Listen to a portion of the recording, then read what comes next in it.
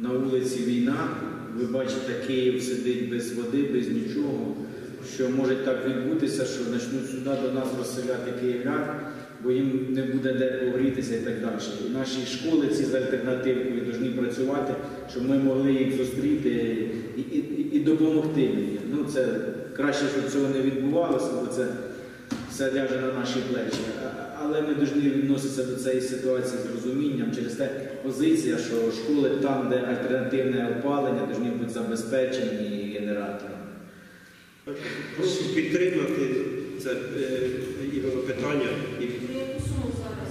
Зараз? зараз сума йде про 2 мільйони 50 тисяч.